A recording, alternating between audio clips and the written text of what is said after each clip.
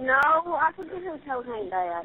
Somebody called and told Hank that you were in the newspaper said that you took him over to Shell, To where? Shell Harbor, some harbor. I don't know.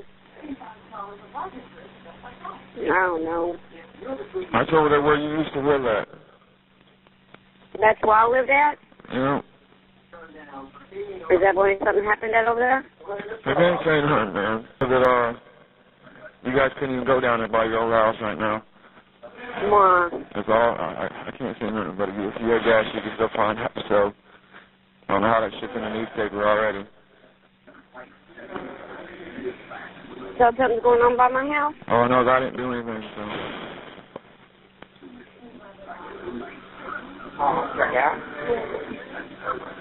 I might go by that them by there.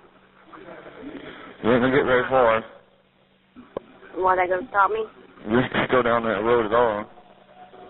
Oh, you can't? Uh-uh. Oh. I can't believe the newspaper like that.